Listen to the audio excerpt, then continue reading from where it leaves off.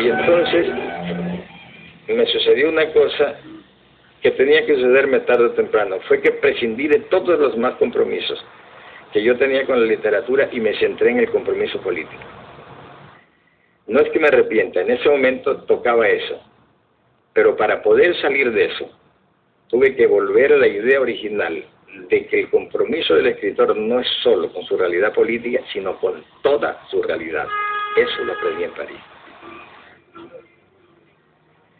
Después de años de trabajo y de búsqueda, de desgarramientos y de dudas, García Márquez ya no se apartará del camino que lo llevó a Zamacondo. Cien años de soledad nace al cabo de 14 meses de encierro alucinado y varios libros más surgen de ese fabuloso crisol. Cabo libera un verbo lírico y embrujador que cuenta las fábulas de una humanidad miserable y grandiosa. Yo desde hacía tiempo tenía la idea de que debía escribir una novela en la cual sucediera todo.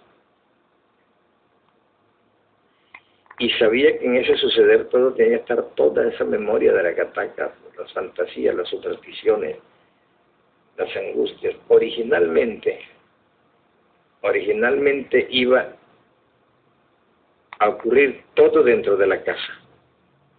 Por eso pensé que se iba a llamar la casa porque todo debía ocurrir dentro de la casa, pero rápidamente me di cuenta que eso no era posible, pero sí no sale de Macondo. Porque sí es cierto que el coronel Buendía se va a hacer sus guerras en Centroamérica, el relato no sale de, Macondo. Llegan las noticias, pero, están, pero, pero, pero la, el punto de vista está siempre en Macondo.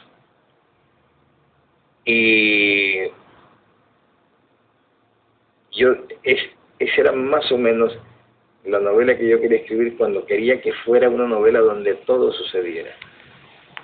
Además, ese no es mi libro, mi libro es El amor en los tiempos del cólera. Ese es el libro que va a quedar. Cien años de soledad es un libro mítico y, y yo no y yo no trato de, de, disputarle ningún mérito, pero El amor en los tiempos del cólera es un libro humano con los pies sobre la tierra de lo que somos.